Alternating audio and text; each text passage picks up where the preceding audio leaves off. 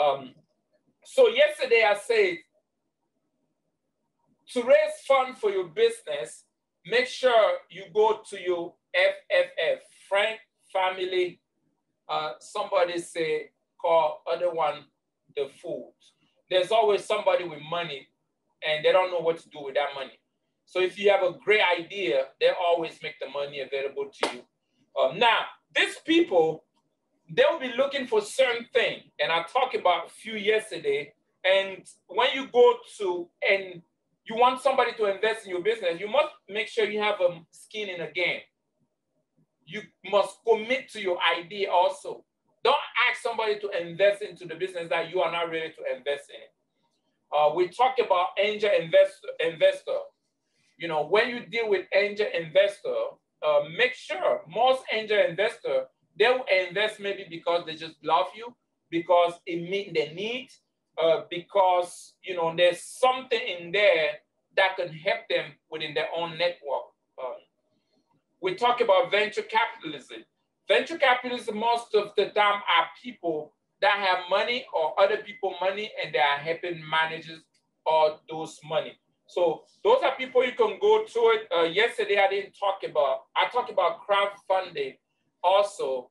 Um, if you have a product and you don't have money to produce, to do a massive production, you can use a crowdfunding thing, just like Kickstarter.com, GoFundMe.com, and you know, Indiegogo, uh, Indiegogo.com. Uh, you have site like that, you can set up an account, and you know, let's say that clothes that is on uh, Samuel Ocean.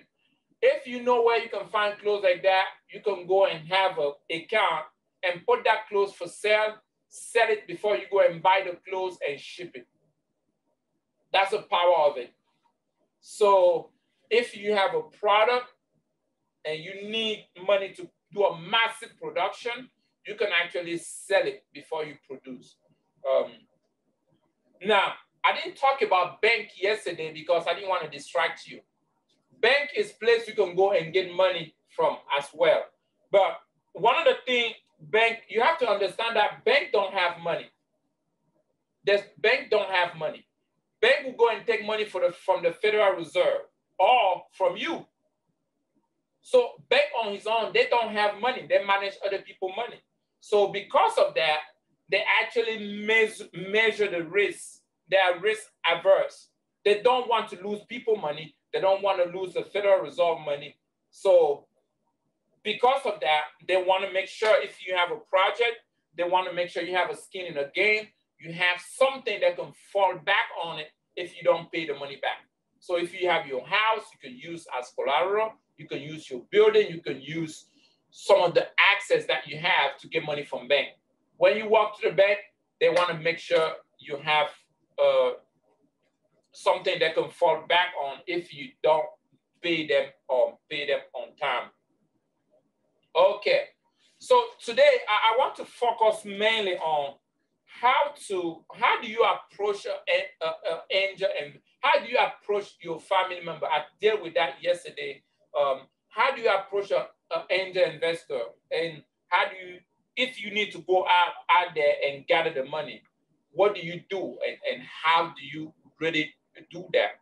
Now, the first thing you have to do before before you go before these people are actually to prepare a business plan. And you have to pitch them on your business. The truth is that most investor, um, now, when you talk about investor, invest, investing is like a dating. Who, ever been to a date in his life? Even just once. Even in the past, not now like back in the day, back back in the day. the goal of dating is is not to have the person, but is to have another date. You know that, right? So you not date somebody to marry the person right there. If you meet somebody and ask a person for date and the person say, well, I want you to marry me now, you run away. You want to get to know the person. You want to make sure the person is the right fit That's the same way when you approach a family member for investment or angel investor or any venture capital that you want to approach to get fund from them. So you have to make sure you use uh, uh, uh you use this this approach. So there's few things uh, that you must do before you approach them. First of all, you have to do a research on the person. I talked about this yesterday. Do a research. If you want to, I mean, I, I even have somebody who came to me and he want me to invest in his company. And guess what? He's he's actually he's not a coach, but he he's the model of his business is exactly like my own business. Why would I develop my, my competitor? So if this person did a research in good enough for me, he was gonna know that this is exactly what this guy is doing. So no investor who invests in two different companies that doing the same thing. No. It's gonna be as if you are fight within yourself. So if you know somebody, let's say you want um, the, let's say you want to open a small bank, and then you go to another banker, or maybe one person that invests so much money in, a, in one bank, you ask them to come and invest money in your own bank. That's the wrong person. They're not going to invest in it. You just didn't do the, your, your, your research. You don't know them. You didn't do enough research on them. So it's so important to do the research and get to know the person and know exactly how he direct his money. The second thing is know what industry he's, he has, he's knowledgeable about. If you are going to ask Coach Madiado, please invest 200,000 euro in my old well. She'll be like, what? Oh, what? Like, okay, I don't know anything about oil. Not that it's a bad business, but most investors want to know what they are putting their money in. They want to have an idea. But maybe if you tell her I'm setting up an institute in Africa to train kids, she's passionate about that. She'll be like, whoa, I want to be part of it. So make sure you do enough homework on the person that you want to approach and see some of the interests before you pitch uh, them about coming and investing into your business. Now, some of the people always say, some of the people always say, well, ask a question and say, if I'm going to an investor, should I tell the investor what I already have? I talk about the skin, skin in the game. If you need money and you just come and tell somebody, hey, Coach Angela, I want you to invest $100,000 in my startup, would I say that, okay, I have $10,000 already? She's not going to be motivated. What do you have? Make sure you present that. Okay, I want you to, I need 100,000. I already have 20,000. I already have 10,000. I have 5,000. That shows that, hey, you are doing something. You do something. I have a lot of people, you know, that show me things they want to do. And they want me to pay their transportation to go in another city to register that product. I'm like, are you serious? That means you don't believe in what you are doing. You have no skin in the game. Make sure you show that you have a skin in a game. Now, when you start a process, you must uh, uh, um, answer some of the questions before you move forward. And these are a few questions you must answer from the investor. What are my source of, what are the, some of the source of income, uh, source of funding? When you know the investor, when you do enough research on the investor, you know where, what's the source of funding. What does the investor actually do? How, how they make their money? It's gonna determine sometime you know, hand and then funding. Some investors have, like I say, I use other people' money. And some people, when they give the money to invest, they put restriction on it. You cannot invest on nightclub. You cannot invest on making whiskey. You cannot invest on, you know, there's few things that can put restriction on it. You cannot invest in a manufacturer of guns. You cannot make bomb with my money. So some people are like that. They will put some restriction. So you, you, you want to know that.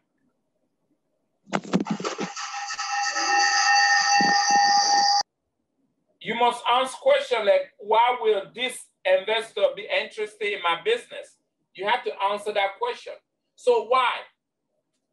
Why? Why, why would they be interested in your business? That particular investor, we are talking about the avatar of the investor. Why should they be interested? That if you are talk to to to to Osher to invest in my business, he may have a different interest. But if you go to Grace, Coach Grace, the interest may shift. Now, if you move down to Andrew, that can be different interest. But you must ah, know. You must know. So then this is going to be part of your research. How fast would I need to go to market? The investor, investor need to know, okay, is it a dream? Is it something you are thinking about for like maybe 10 years from now, or is something like down the road, six months, a year? How quick do you need that? Is this something that is still on the early, early, early de development? So you, you have to be able to answer that. Before I approach any investor, you must answer those questions. What problem am I, this question, what problem am I solving? What problem? I know people want to get, they need money from investor, but they haven't established the problem that they are solving. What problem are you solving? It's so important. Who has that problem? It's not just about ask for money. When you don't have this answer, when you are not clear with all this little thing, most people are not going to be interested in what you are talking about. Remember, an average investor talk to at least maybe thousand plus people per year. And out of that thousand plus, they may sit down and talk.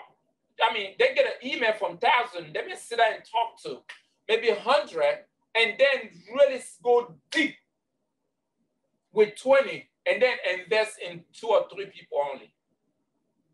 Remember, I shared with you yesterday. People who have money, they spend more time learn how to keep their money, not just make more money. So they really have a great strategy not to lose their money, not to waste their money. So you never see a great, a good investor who don't know how to keep the money. So they'll do a great homework, and you must do a great homework too. So you must do a market research on your product. Know your competitor. I talked about yesterday. Don't say, what is the risk on this? Oh, there's no risk. Who What my competitor? There's no competitor. Investor will know that you don't know what you are talking about. Or you didn't do enough research. You must know your competitor. How many user, customer do they have it's going to help you for the side of the market. You know, what is the side of the market? How many people are out there consume that already? How many can you convert if you have a better product? Do we, is still some more customer stand behind that you can actually get? Why I am different? You have to be able to pitch your investor with that. Why am I different? And, and, and this have to be something in your head. It must be with you. So if you, like I said, Osher want to talk to me, he want me to, let's say he want to talk to me, he want me to invest in the outfit that he carry now, he have to be able to pitch me through this line. In five minutes. In five minutes. And this at the point you must follow. Very, very, very important. And you must answer this sixth question before you approach any investor.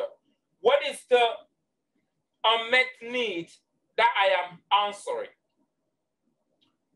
What is the unmet, unmet need that I am, I am answering? What are the needs out there that people are not meeting?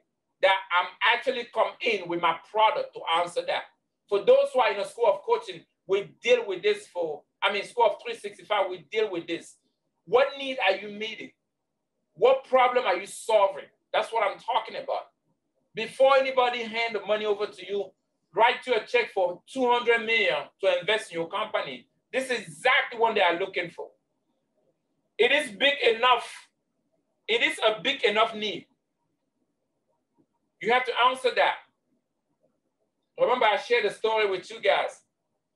If I come and tell you, for example, hey guys, there's almost 4 million people in um, in Cameroon. No, let's use Nigeria. There's almost 220 million people in Nigeria.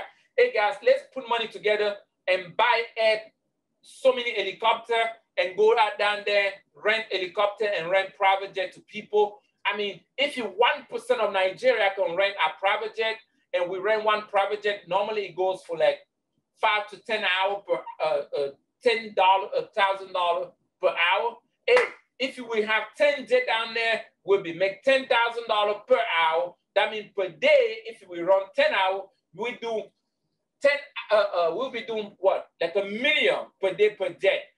10 jet, that's 10 million a day. Let's go buy, man. With, with 50 million, we can have all our jet. Let's get a used one. And we get down there in one week. I mean, in two months, we make all our money and double. That sounds like a great business, right? But you'll be like, is it really 1% of Nigeria that can use a private jet? No. No, it's less than 1%. Matter of fact, people who can use a private jet in Nigeria, they already own one. they already own one. They know where to go buy it from. So it sounds like a great business, but there's no market for it. But I can pitch you this way. You'll be like, man, you're right. You're right. Let's go it. And then you gather your money and spend and bring the jet. After you go through everything, nobody ever ran the jet because there was no market for it. It is big enough for the need. Yes, there's a need. If you do that, one person will be renting one jet every six months. But the need is not big enough. It's not big enough. Were you, uh, were you able to maintain a differentiated position? Why and how? Whatever need you want to make, could you maintain and go longer? Why and how? You have to justify. This will help you convince even yourself about what you're trying to do before you grab trying to get somebody money. What is my business model? How do I make money? How do you make money? What's your business model? The investor, you must answer this question to yourself before you approach the investor. Why us? Why is my team better than everyone um, than everyone else? Why us? Why you? Why people is gonna come with your company?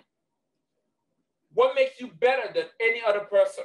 This, this is a question people will ask you straight for before they hand the money over to you. Why is now the right time? Why is now the right time? COVID-19 actually boosts so many business. Since so many people went out of business, this is the right time for so many people to jump in and get into business. I was actually doing video for the trucking today I will share that if you in the United States or somewhere get in a trucking business because because of COVID, I mean everything went on the wheel. The market was the shortage was like 70%, now it's like 90%. Imagine a country like America, there's only 10% to supply for a trucking. 90% market open. You buy one truck, you can make $40,000 or uh, $10,000 a week. $40,000 a month. You make the money you invest in a business in one month. Literally. If you crazy like me, you make in 10 days. Way more demand than ever in, in the history of the world. That could be a good, good, good reason. So It's, it's very, very important. And most investors want to know also who is part of your team. What is your experience? Have you done it before? If you didn't do that before, what are some of your track record? So it's so important to explain to the investor what you did in the past and some of the things you did, even if it's not related to that particular uh, uh, uh, uh particular uh, venture. Maybe some of your educational background, you know, that that can help. So you want to make sure you add that uh, to the investor. Any question before we go to part two?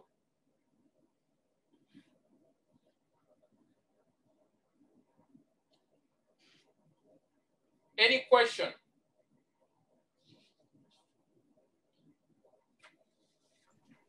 I think we're good to go. Okay, beautiful. So I have a questionnaire in the in the second few page. So download and log out and download all that. It's gonna help you step by step to develop to answer all these questions. So you write down the answer. And if you do that, you'll be able to pitch anybody with your business. So make multiple copies. If you have multiple business, uh, you can go over uh, one page after another one to answer that. So before you approach the um, before you approach the investor, like I say, you do your research, do the homework, and prepare all the necessary documents they needed uh, before you approach them. Now, I want to share some of the site that you can use it um, to do different application. Yesterday, I talked about grant and I talked about some of the money available out there uh, to uh, business business people. So let me see if I can share my screen with you.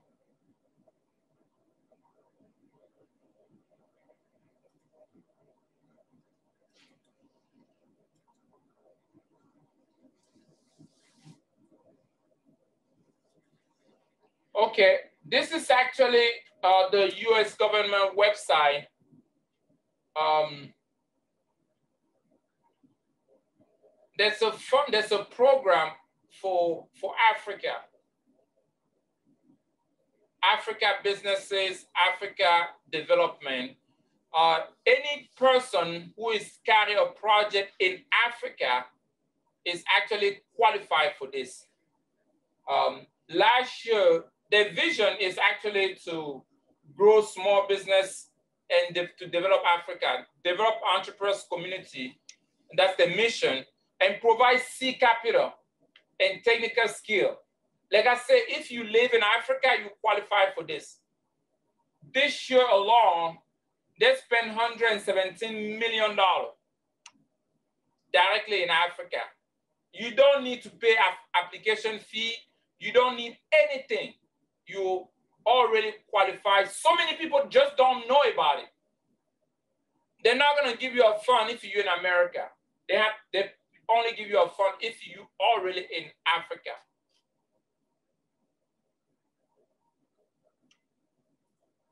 So the website, uh, Coach Giberton will share the website. Um, I'll share a few, uh, uh, uh, I'll see if I can share a few stories. This uh,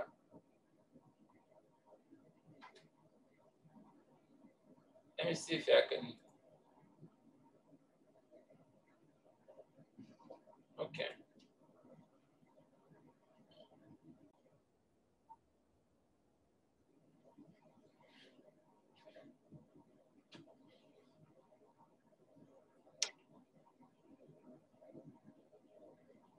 Okay. Anyway, you go on the side, you can you can follow some of the lab testimony. Most of these guys are in Nigeria. Um, Nigeria businessmen, uh, you know, there's no bribe on this. You fill out the application, you qualify, and they will send you the money for your project and even follow up with you. Um, the application is actually uh, at the bottom of the of the website. Let me, if you are really on the website, set, uh,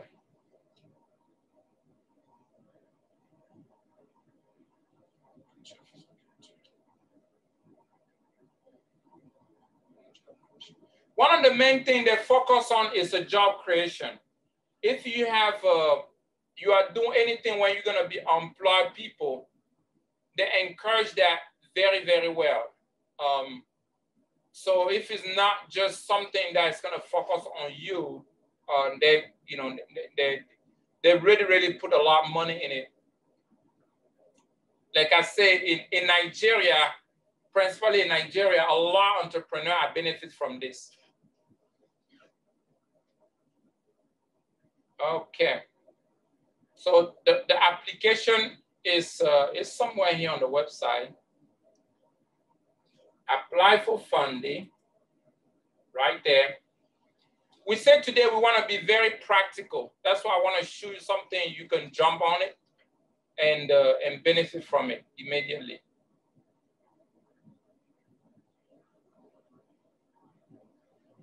Okay.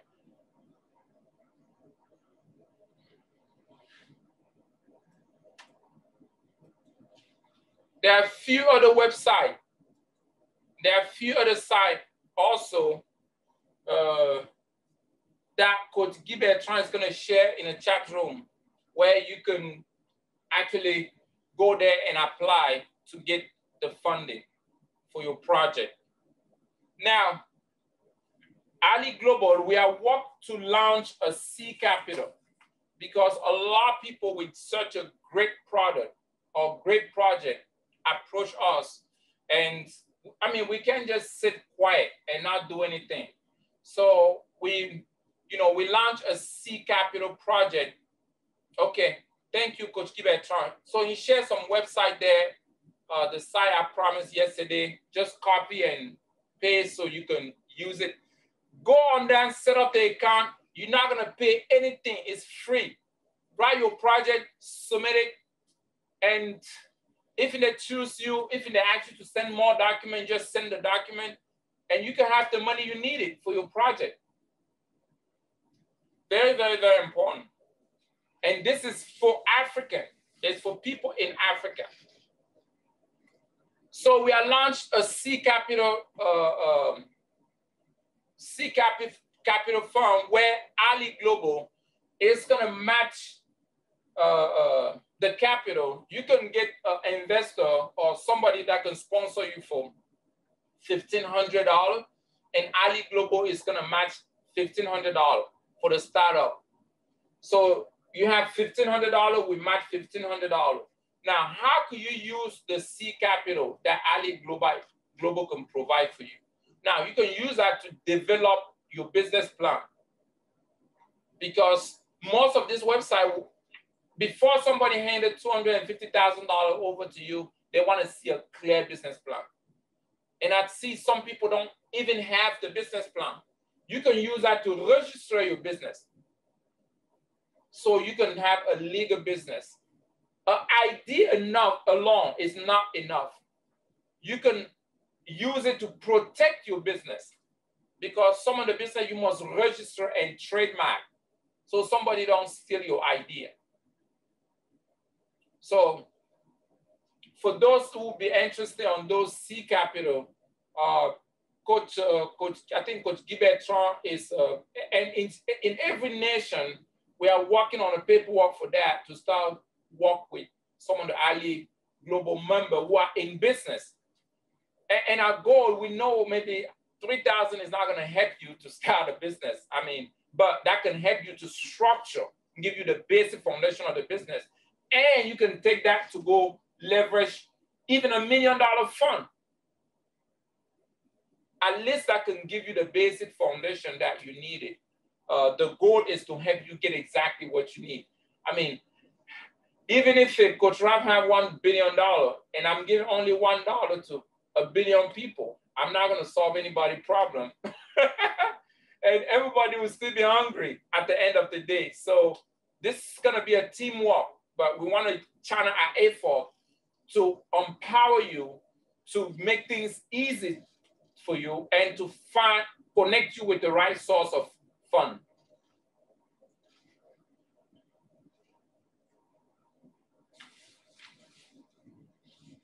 So we, we talk about the difference between the, um, we talk about the difference between different type of investment that you must go after. Now, could somebody who's a, who's a business person here and you have a project and you are looking for funding on it, I can advise you for some of the methodology. Yes, Coach Majado, go ahead.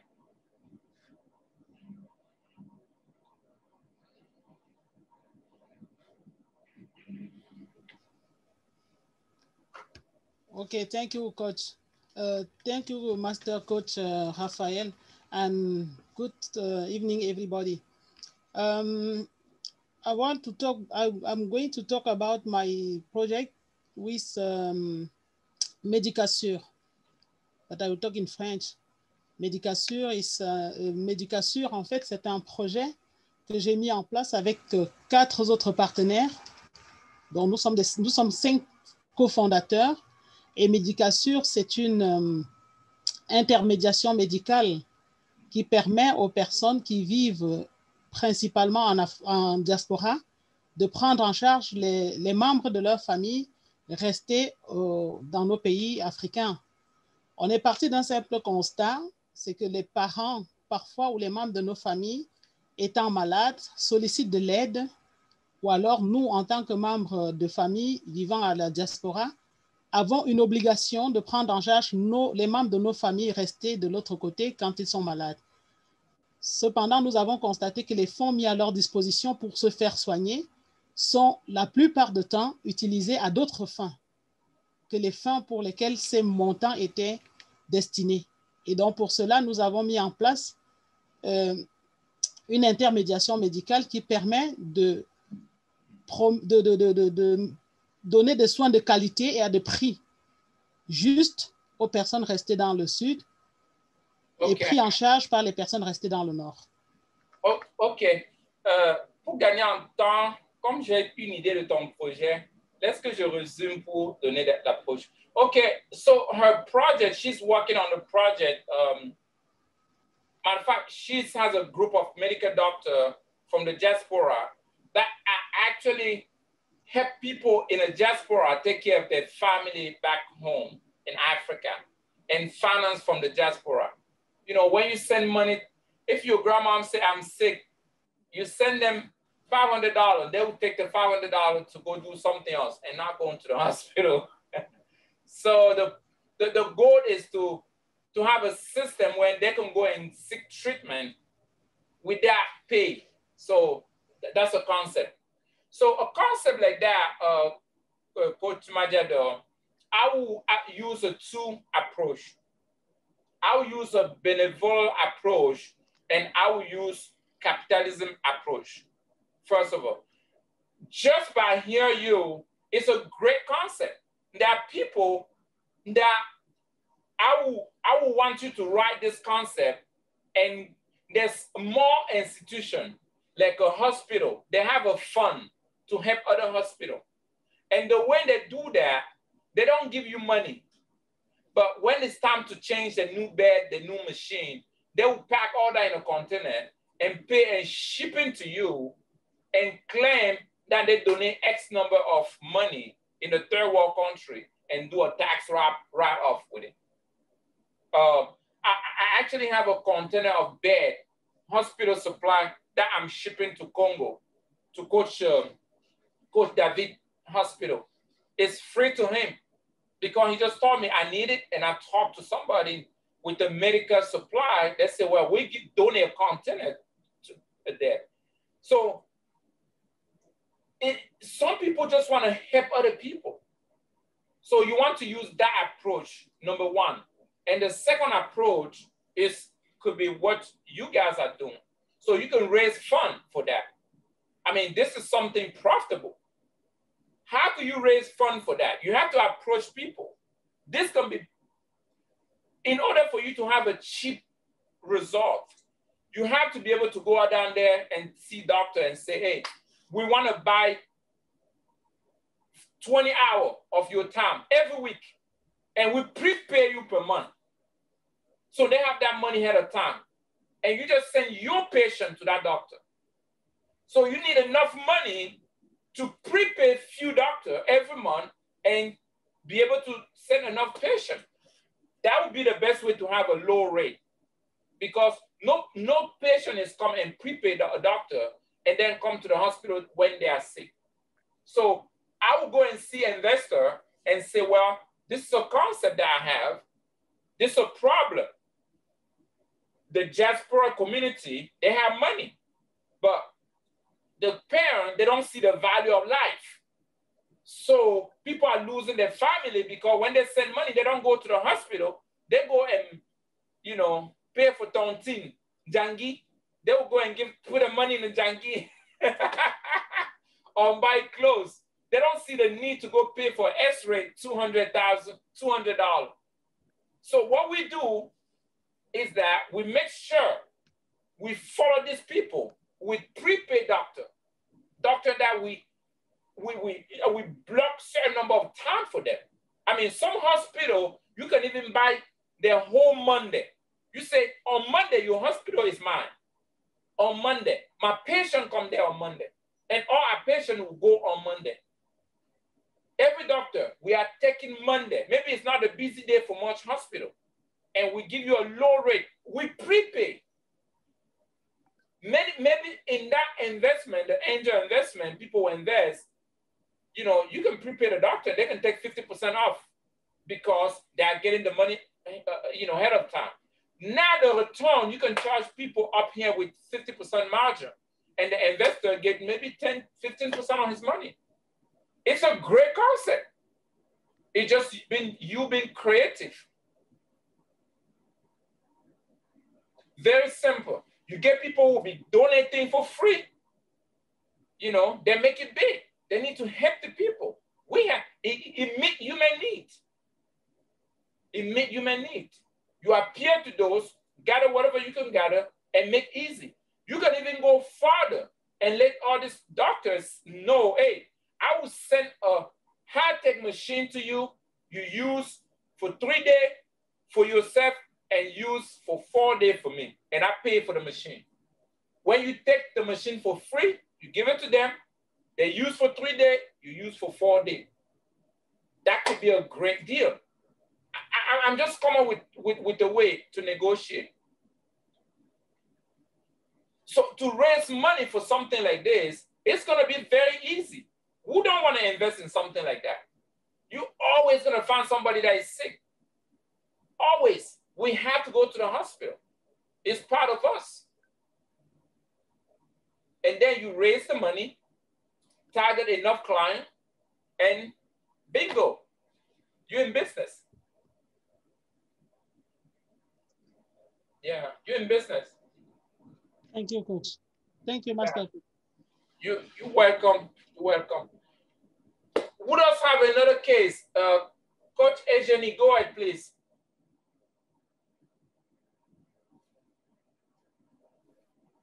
Uh, thank you very much, Coach Raphael, for giving me the floor. I have uh, 300 hectares uh, at home. Uh, the main problem is I don't have the tools. I don't have tractor. Uh, I don't have a, a lorry to carry product in town. Um, La last year, we were stuck at home because of COVID. We did uh, seven hectares of sweet potatoes. The car we hired to collect the potatoes to bring them in town, the car was broken and most of the sweet potatoes were rotten. The car, we, hi we hired a, a, a lorry it was broken. And sometimes you hire the tractor, government tractor, it will come there, it's not functioning, it's not well. And then you, instead of making 10 hectares, you will end up making maybe four hectares because the tractor is broken. All this thing, all the money we were having, the money I got for my pension, all the money last year was finished. And now I'm really in problem. I don't know how I will continue with my, my farm. Okay. What nation are you in? I'm uh, Congolese. Are you from the here. farm is in Congo? Yeah. Okay. That's exactly what we talked about yesterday. This is a great, great opportunity. I don't care if it's cassava, if it's potato, if it's corn, I will get an expert to come and tell me how much, what could be my production for a year. And I will take the production, like, okay, if you have plant 300 acre, what's gonna be the harvest? I take that harvest and go to the person that can buy. Most companies today are turning like cassava into um, how do you call amidon in English? Ethanol. Into starch. Starch. Ethanol. Starch. Starch. Starch. Okay. Okay. Thank you. So they will buy that. I will go and look for this kind of company and tell them, hey, I have 25 ton of amidon or starch that I can give it to you in 12 months. Would you buy? They say yes. For how much? I negotiate the price. I say, give me a purchase order that when I produce, you buy. They write you a purchase order. You take, go to another person. I have six ton or 10 ton of stash that I'm gonna produce this year. Would you buy? They say, yes, we will buy. For how much? You negotiate a pre price, take the purchase order. Now, if you balance your production is hundred thousand thousand dollars, and you have a purchase order of six hundred thousand dollars, your profit margin outside risk, I'm just saying anything, is five hundred. Let's say you net three fifty. Let's say things gonna go bad, you're gonna lose some money, 150 loss. You take that to Coach Sarat, Saratu and tell her, Auntie, this is a purchase order of 650,000. If we put a C on the ground now, in four months, we will have it. And it's gonna pay us 650. It's gonna cost us 100,000. I need 10 people to give me 10, 10,000. And I will pay them 15,000 at the end of the year or I double their money. I pay them 20%, 100%. So I give them 20,000. You pay 10,000, I give you 20,000. What's the guarantee? I will hire you as a guarantor for my harvest for this year. You don't lose money. If you lose your money, this is what you take from me. Because you have two, three buyers already that are looking for that product you have almost six, almost a 2,000% profit. I'm sure Coach Saratu is going to give you the 10,000. You only need 10 people. And then at the end of the year, you bring them $20,000 when you sell it. Next year, Coach Saratu will call you. Madam, how much do you need this year for the plantation? That's what I would do. Develop a business plan, sell your production before you produce, and then raise the money to produce. Factor, talk to the tractor company, even how much it costs to purchase a tractor. Factor all those costs in and use that as an initial capital that you needed to produce whatever you need to produce. Sell actually what you're going to produce and go out raise money to do it. It makes so clear. Even me, if you call me and tell me that, Coach Wright, give me $10,000. I have a harvest of 250,000. This is how you work. This is a purchase order. This is what the expert say I can produce and all that. I will have another expert check. If they say, yes, it's true. That's it. Wow. Simple. Thank you very much. Thank you. Yeah, you're welcome. to do that. Thank you. Coach, uh, Coach Honorine, go ahead, please. Yes, thank you very much. I will speak in French because uh, I don't really speak English very good. Euh, je, je suis fondatrice de- d'une as- d'une société, une ASBL, ici en Belgique, qui s'appelle Noble Retour. Et alors, dans la communauté, nous avons beaucoup eu euh, des décès et à chaque fois, on était appelés à faire des cotisations pour pouvoir rapatrier les corps de nos confrères au Cameroun, malgré euh, la pléthore de, des assurances hein, obsèques qui, qui existent. Alors, je ne comprenais pas pourquoi est-ce que nos frères n'arrivaient pas à souscrire à, une assurance. Alors, j'ai fait une étude de marché, j'ai fait une enquête et je me suis rendu compte que le véritable problème, c'était euh, déjà, un, dans la mentalité chez nous, nous ne, nous ne sommes pas prévoyants. Donc, euh, on ne, les- ce qui sortait des résultats, on ne trouvait pas d'importance de mettre de côté de l'argent pour euh, prévoir nos obsèques.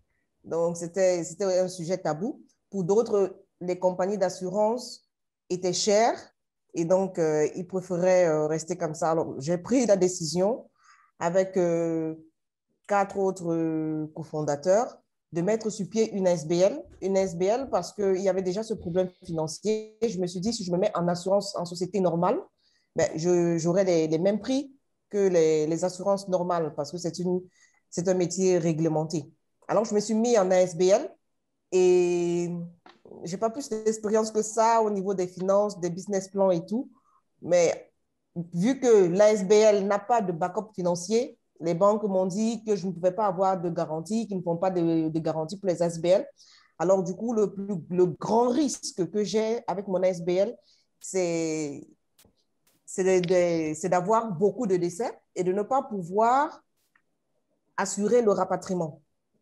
Donc, mon business plan, il est très simple. Les inscriptions, c'est de c'est 26 euros par personne et c'est unique. Et alors, il y a des cotisations annuelles que l'on paye qui coûtent 50 euros et qui sont aussi individuelles. C'est-à-dire que si nous avons une famille de cinq personnes, chaque membre de la famille, même les personnes euh, mineures, vont payer 50 euros parce que ben, le temps pour l'association de, de se faire un fonds, un fonds de garantie.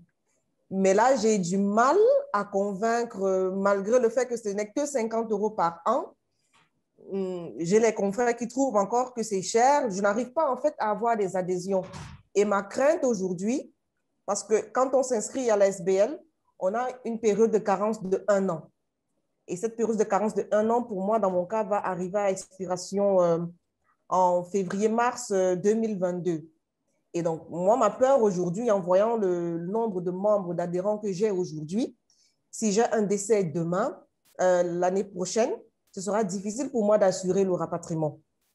Et mon problème est à ce niveau-là, comment, ce risque-là, comment le minimiser? Deuxièmement, comment convaincre euh, la diaspora, comment, comment convaincre les Africains de s'inscrire à ce projet? Parce que à la base, c'est un projet communautaire qui, pour fonctionner, a besoin de beaucoup de personnes. Voilà en gros. Oh, okay, wow, awesome. Who can translate very quick? Stephanie, could you translate very quick and fast? Look Okay, it- yes, coach.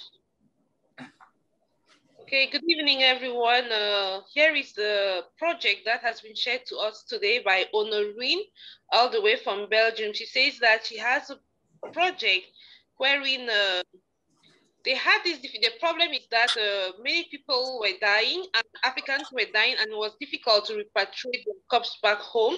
So she created an NGO with other people wherein they like have an association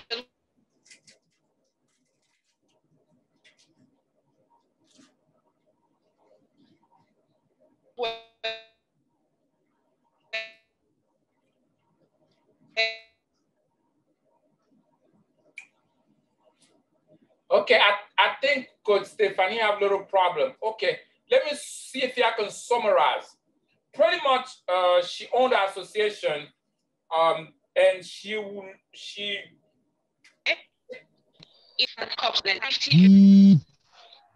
Yeah, and how to be able to Hello? their mentality. I can help you there, Coach Stephanie. Your network is so bad. Hello. Sorry. Oh, okay, okay, Coach Stephanie, let me summarize. Okay. She owned a network um, in Belgium. When Okay. if you pass in Belgium, they will send your man back home. So the, the, the goal is to have so many people have, get the affiliation or membership so she can keep doing that. And it looked like she don't have a number. And if it, she doesn't meet the quota, she may lose uh, the, her status. Now, I want to ask her a few questions. Can, uh, what are the minimum requirement member that you need? 500. 500. How many do you have now? Now I have like 30, 30. 30 member. Is it only people in Belgium No, in Europe, or the, the whole Europe? yes. And all Africans. No, all Africans. All African? Where, where are you advertising? You only advertise to your friend? There's so many African in the diaspora. Okay. it is because it's because due to COVID situation, I didn't have the my I don't know, no, la stratégie marketing que j'avais a été vraiment euh, Okay. comment dire entravée par euh, le Covid. On ne Ok. pouvait, je, ne pouvais, je ne pouvais pas faire du porte en porte ou alors rencontrer parce que j'avais prévu rencontrer des associations aussi, Okay. essayer d'avoir une convention avec des associations, mais avec la situation de Covid, on ne peut pas se rencontrer quand je, avec les responsables quand je propose de faire des Zooms. Ils ne sont pas disponibles, donc c'est très difficile de convaincre des gens. Actuellement, j'ai juste pris un community management qui, euh, avec qui on travaille sur nos différentes pages YouTube, Facebook, LinkedIn et Instagram, au Okay. moins pour se faire connaître déjà. Uh, so one of the things I would recommend is that your your product is very good. Uh, however, people don't like to get up and start go talk about that. It scare people. It's not something the topic people like to talk about it. So you have to come up with something that will make people excited. Um, and then this have to be like a second product. That when you have a first product, it gives you also the second product. Um, I will recommend things like um, I know to travel in in Africa, people there's a small insurance that is called called travel insurance. I would look into something like that and purge that with my product and put a travel insurance on front like, hey, while you are traveling back home, if something happened to you, at least, you know, you lose your ticket. Airline company, uh, there's company called AAA that actually wholesale that insurance. So you can register people on the AAA, and while they purchase that, you make them purchase yours too. And that can be a second part. That's the number one. The goal here is looking for something that can get people in. People don't like to deal with that. It's, it doesn't feel good when you think about it. It hurt. It make you depressed. You know, it's not something you wake up in the morning and be like, man, let me go. If I die, somebody's gonna ship me back home. You don't even want to think about it. So look for something good first and push that and let this be what we call a rollover or extra or upsell or upsize of it. I would do that first. Um, another thing you can also do is to find something that is going to benefit people now on the ground. Now, um, I don't know. You can look for affiliation with supermarket. Affiliation, something that you can give pass that affiliation to people and say, hey, get this affiliation for a year free if you purchase this insurance. So if the affiliation is $50, you give them the affiliation for free. So you, you have that company, you negotiate with affiliation for some kind of discount. There's so many affiliation out there that can give to your client a free year subscription. You negotiate that ahead. Let people pay you for the insurance and get free affiliation. If they don't need it, your insurance fund. People feel like they're not paying for your insurance. They, they will feel like they're buying the affiliation, but you sell your insurance and have a member. So there's so many things you can you have to you have to be creative about what you can give to these people. Yeah, you have to think about what you can give.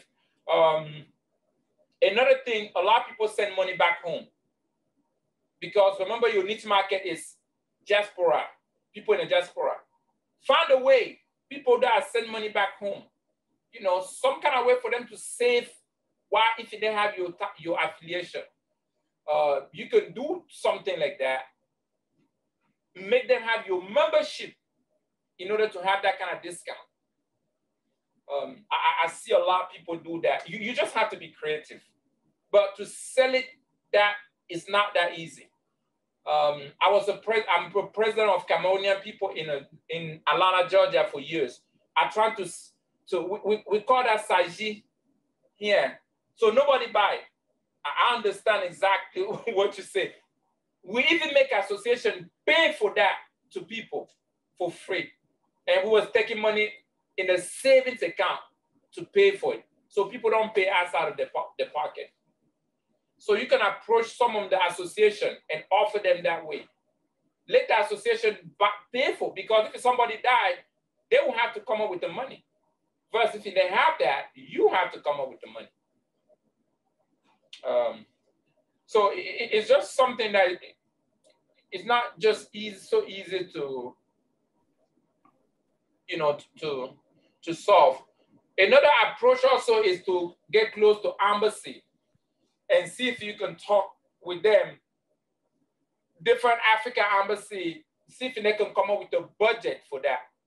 Small budget. Send them, send them a small budget uh, uh, uh, liability insurance. If something happen, instead of they do it, you know, because most embassy, if they identify that you are from that country, and nobody can do something and they bear the person, they will send the bill to the country. So you can use that approach also. Thank you. Uh, and, Thank you very much. Thank you, you. were talk, talking about strategy of marketing. We have Coach Mani. I don't know if he's he's in a hall. If you can share your number, he's an expert in in marketing he can, you know, he can really, really rock you with that. Uh, get in contact with him. Uh, you know, he can develop a great strategy for you. And I'm sure, I mean, you can get a million people. There's so many people in the diaspora. Very, very quick. Uh, he's really good. Thank you. I will do that. that. Okay, thanks. Okay, who was next? I am. I am OG. Uh, okay, let, let me take uh, Coach uh, Coach Amen.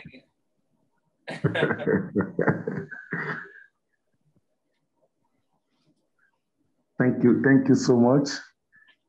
Thank you, Coach. Thank you, everyone. I think uh, Coach is hearing me there. All right. Uh, I'm so I'm so pleased. I'm so grateful for this uh, very moment I'm sharing with you. You have been impacting me uh, since two months now. I joined iLEAD, and uh, this is a new experience for me as a spiritual man. Although I heard the word, I heard a voice, go and industrialize Africa. But being a spiritual man, I was so much based on the spiritual side and uh, I don't know anything about the entrepreneurship. I don't know how to handle everything. And, uh, and all the experiences I have uh, early the year when I started, I just say no. Until last year, last year when I entered into a close room with the Lord, that was where he spoke to me and said, now I open door for you. Go before the nations. I'm going to give you uh, uh, lands everywhere. So the first land I received here, I received more than 5,000 acres where I am right now. But the land is very far away from the city. We bought the tractors, we bought everything, but it was so difficult for me to make it until uh, uh, World Bank, since I have a complete document, World Bank came to help and finance me with some 17 we are doing. Now that uh, I have uh, lands everywhere uh, in Africa, more than 15 nations, I'm having land everywhere. So I don't, I don't know how to come about it. So I need, I need your ideas. How do I come about it? to make a business plan. How do I approach these people so that we know how to figure out uh, uh, uh, uh, this vision the Lord has given me? Thank you. Yeah, great, uh, great, great question. Um, I think, man of God, you, you have line in so many countries. What yes, I am you, I will take one country and develop it and use that as a, um, as a specimen to go to other countries. We want to have more investor or more bank, I mean, can literally run after you.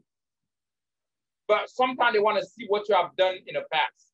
So even if it's a small project, do it and see the result and, and use a little bit the, the approach of our sister that I talked to early. Um, and, and then just the, the, rest is gonna just follow. So start somewhere because, like I said, if you're trying to take everything, I mean, you have so many land in so many nations. I'm talking about thousands of acres. If you start all to all, all of them, it's gonna swallow you. Start somewhere and just add on as you as you move on. That would be the that's that would be my best recommendation. Thank you. Okay, 47, 66, 80.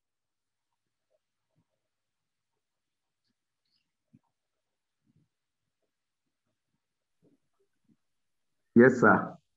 I, the line, the line cut off. I didn't get any answer. What I didn't get the answer, please. Oh, okay. Let, yes, let me start over again. No, what I'm saying is that start from you have so many lines. Focus in one nation take one nation and develop the work okay. there. And take that one as a okay. statement. When you go to other nations, you can show your work. Even the banker will give you money. Anybody will give you money. Focus on one area okay. first. Okay. And develop that one, get the result, and then the rest is going to be history. Thank you, sir. Yeah. Thank you so much. You're Thank welcome. you so much. All right. 47, 66, 80. Go ahead. Oh, do you have a hands on? 47, 66, 80. Est-ce que tu peux poser ta question, s'il te plaît?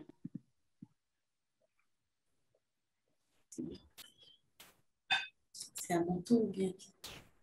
Bonjour. Bonjour. Bonjour la communauté.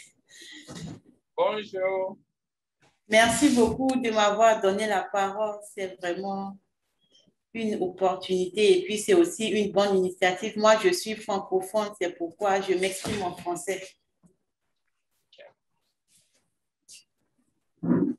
Oui, oui. Concernant le but de la formation, c'est vraiment une bonne chose pour la communauté africaine, vu aussi l'état que notre continent traverse et puis vu aussi la crise, ça joue, très, ça joue très beaucoup sur le pays, sur le continent, sur toutes les activités entières. Bon, la, la question que j'ai à poser, c'est de savoir, parmi le milieu jeune, les Africains, on a des projets, on a des initiatives à mettre en place. Est-ce que vous me saisissez? Très bien, très bien. Oui, oui, on a des initiatives, on a des projets à mettre en place, mais le problème, c'est le financement. On n'a pas un financement adéquat pour mettre en place ces investissements. Et du coup, ça joue sur la jeunesse africaine. La plupart se sont obligés de se lancer dans des activités qui ne sont pas loyables en tout cas.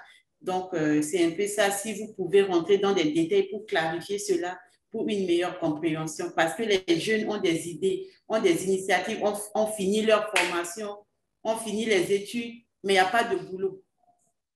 Le taux de chômage gangrène sur le continent africain, il n'y a pas de boulot, il n'y a pas des activités génératrices de revenus.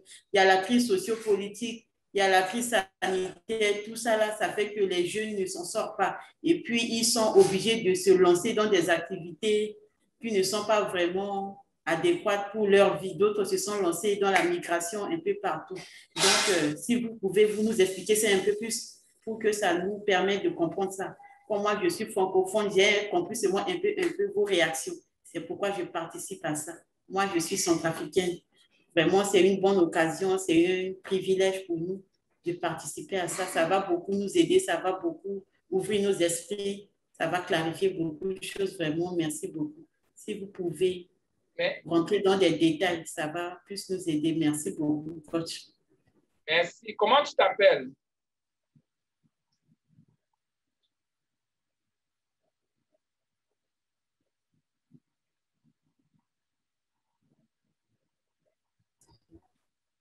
Allô, vous me recevez? Très bien. Oui, moi c'est Anista Wata. Agista Wata. Oui. OK. Agista. Uh, say, say, uh, her question is actually today there's a lot of youth that African youth that actually do things that um, you know uh, how, how, how could I say because I mean there's a lot I don't understand, please. Please, I don't understand English. I speak French. No, no, no. It's it's, it's okay. Je vais expliquer en français. So ah, okay. there's a lot of youth that um, don't have job, and since the economy situation in Africa, they are, you know, called to do anything that maybe just you know is not fit, maybe not it's not legal. So how could how could we address this youth? Uh, my question, my answer would be, you, you know, there's no situation that is too bad. We say things are bad because we don't know, we don't have a solution based on the current problem. Um, when you look at America in the year of Great Depression, I don't think Africa is worse than in the year of Great Depression. So we can always be creative, um, and it's always tough.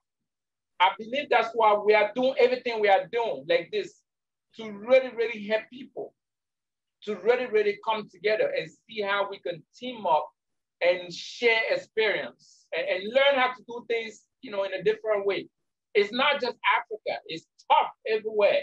The world is changing and we have to use a new method to address the problem today. So um, the, the, the youth must update themselves. Sometimes you turn off your computer and the, the computer will tell you not to shut it off because it has to update.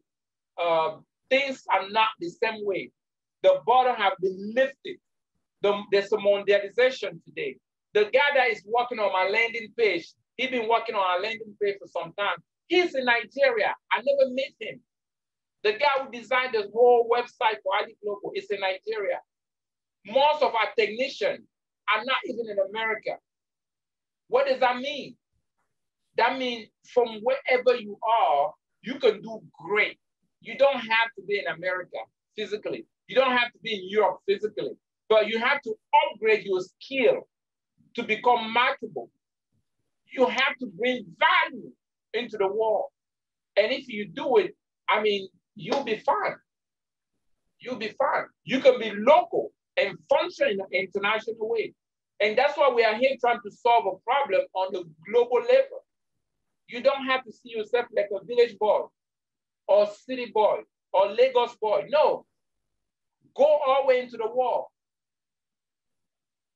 If you're an engineer, why don't you serve the world? Why do you have to limit yourself in only Lagos? That's why you have an internet. Internet opened the door. When I go online looking for IT guy, I see so many IT in Nigeria. In America, and they want to take 10,000 to do something. Somebody in Nigeria say, give me seven or eight. I'll give it to the guy in Nigeria. Save 2,000. So youth have to compete global. We have to go global. So that's my answer for, for that, my friend.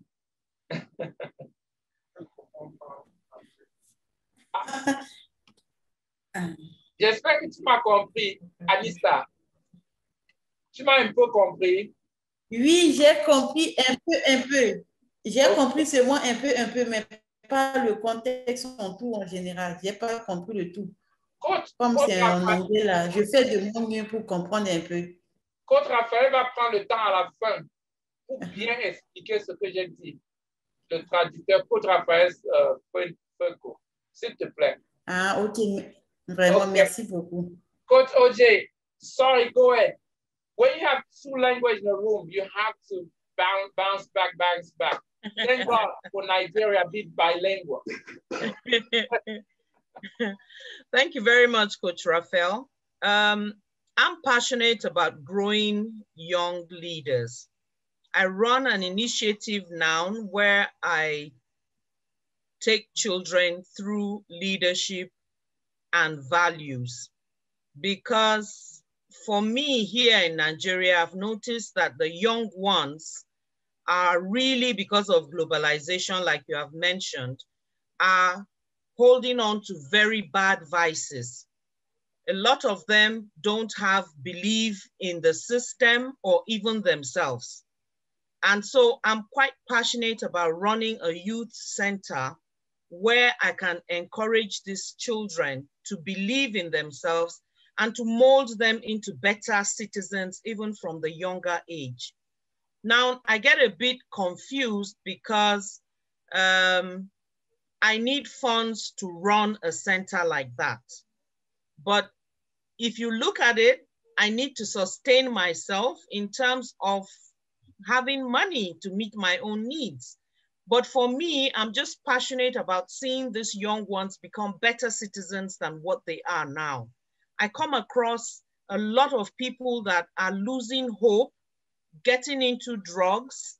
They don't believe there's, there's a, a chance for them. And I want to inspire them to believe that tomorrow will be better. So running a youth center, um, I'm really at loss at what to do, how to go about it. The initiative I have, I used to have physical sessions with the children. I work with children age six to 14, and then I have the young adults group that are 15 to 25. At that, and even the young ones at six, we have this thing I called kidspreneurship, where I was teaching them how to learn a skill, how to open a, a, savings account.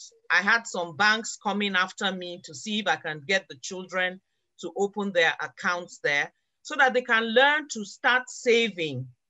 I mean, I as an adult didn't know about buying shares when I was a younger person. I thought it was something adults did. But I've realized now that parents are buying shares in the name of their children. And by the time their children are adults, they actually have some substantial money to go into one business or another. So in a nutshell, we were doing the kidspreneurship, teaching them um, skills, teaching them um, business ideas. I had a young boy of eight who wanted to make lemonade and I had to encourage the father to help him register the company and help him make the lemonade so he can sell in school to his classmates and start making money because the boy was very passionate about that lemonade stand. And we have kids like that all over, but there's nobody to guide or push them. So that's something I am quite passionate about. But when you want to fund that kind of thing in Nigeria, it's not easy to come by. So that's the dilemma that I have. Yeah, uh, Coach OJ, that's a great, that's a great project. The only problem you will encounter will be the competition between the government and you. You see, the government, the government institute, when you give birth to your baby, the government want to take them and school them so they can serve the government. They can serve the country. And what you are doing, you are teaching them to become independent. you want to give them independence. And, and the, the government want them to go through the system so they can be like everybody else. Mm. And you want to teach them independence. That's why they cannot, they don't have fun for that. Now, if you go and target the kids that actually deviate from school, that are on the street, that are doing drugs, yes, maybe they can give you fun for that because they lost those already and they want somebody to bring them back. Um, the, the school system is, is the, we call it institution. Is every government, every nation, that's how they stay strong. If you, if you knock down the school system, the government is going to collapse also. That's why you see countries, when people don't go to school, there's a war there. Because the, the institution, there's no institution there. Mm. It's an institution that make us behave the way we behave, yeah. make us afraid, make us follow the law, make us just do what they ask us to do and not get out of it. Uh, but you can have uh, some people who love to develop kids that can, you know, be a donor for something like that. You know, Mother Teresa was able to raise more, a lot million, millions of billions of dollars to, to impact life all over the world. Uh, mm. So, and any human being wants to be part of something great, particularly when it comes to other human beings. So I would say to see, write down the concept, what you want to see happen. And then, hey, let's make it happen. Let's make it happen. We'll just talk to enough people. If you talk to thousand people, I trust me, 20 people will say, I'm in with you. I'm talking about 20 people who reach out in their pocket and say, that's what I bring on. Let's make it happen. Good. Thank you. Yeah. All right. Thank you. Okay, guys. Thank you so much. Hey, you guys are awesome. You guys are awesome. Like I say, all the 20 page is going to be on your notes, step by step blueprint. Where to go look for money, where to apply, the website, the application, just go ahead and do it. Go ahead and do it. Let's, by this time next year, have people who come back and say, hey, I was able to get 250,000 here. I was able to have my project funding here. I was able to have my project funding there. And for those that needs to put their business thing together, we have a lot expert around us. Reach out to some of them. Reach out to your country rep. They will connect you with the expert. Uh, and they will be able to help you establish, give you a proper business plan. In the school of 365, we have a lot of information on with how to do it.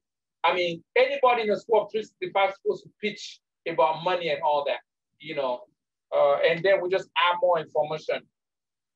I think tomorrow, I don't know where we're going tomorrow, but the journey is continuing tomorrow. We have this hot 15 days uh, to press on. Um, just continue to follow us. Um, and then just let's let's learn together and, and come out of this very, very strong.